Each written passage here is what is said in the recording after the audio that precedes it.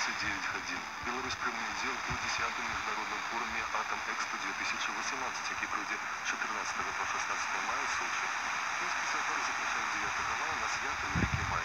13-15 мая в Мінську відбудеться фінал 27-го республіканського фестивалю конкурсу моди і фото «Ми моди 2018». У студії Георгій Бельямович вітаю вас.